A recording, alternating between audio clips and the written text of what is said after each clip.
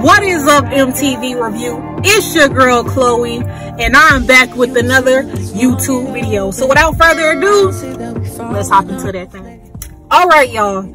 So if y'all have not been watching the popular show, BMF, why did Charles cheat on Lucille? What ultimately led this couple astray.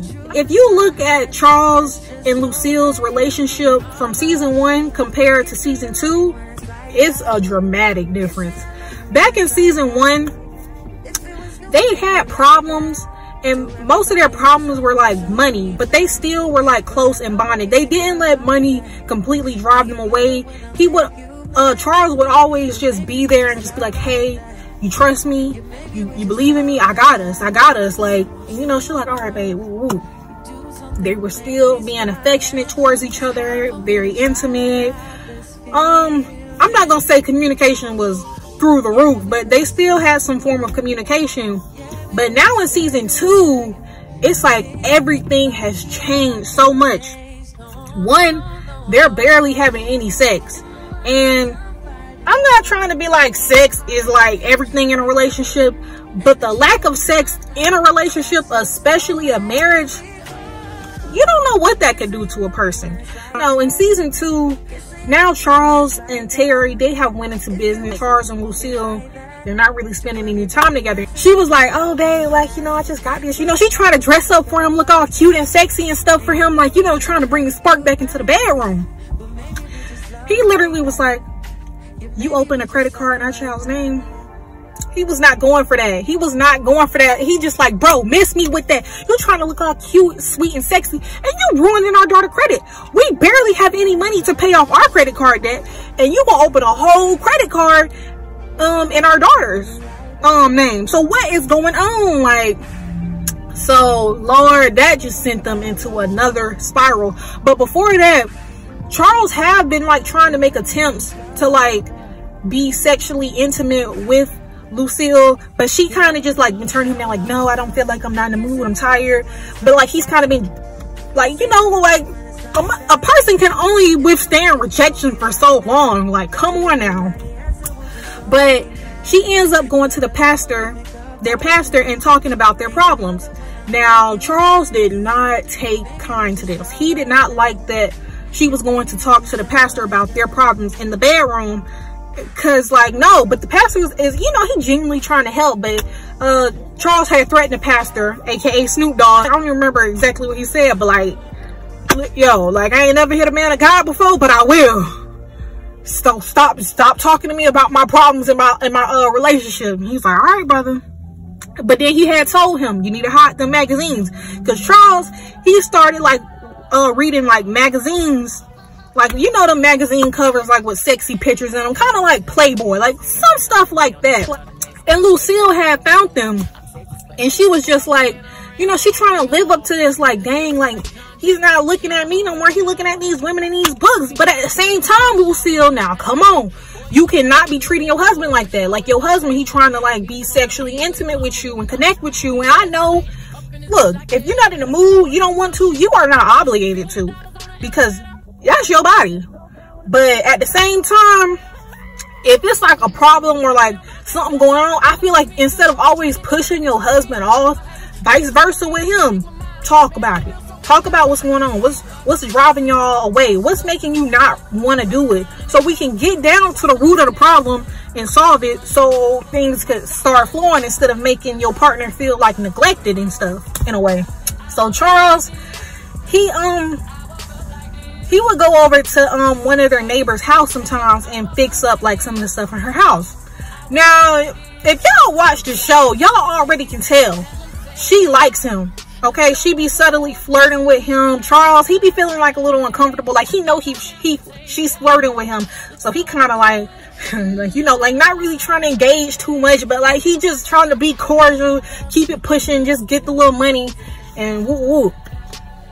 But this one day, this one particular day, um, his wife had went out of town with their daughter. So nobody was home. And the wife, mind you, she thinking that Charles is cheating on him with uh, one of the ladies in the church.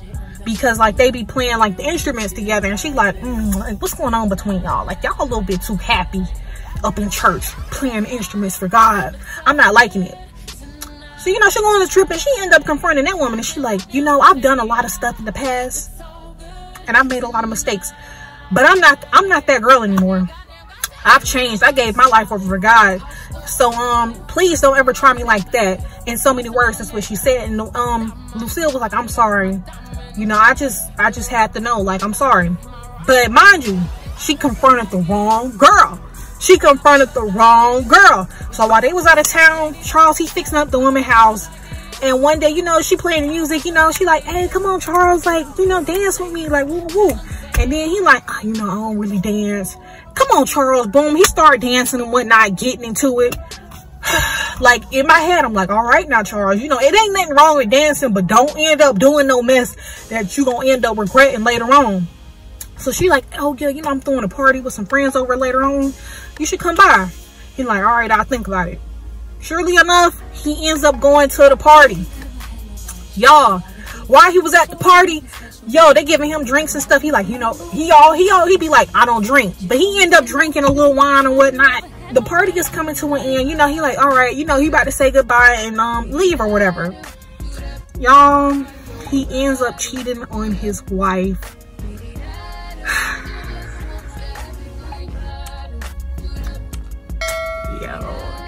Ends up cheating on his wife.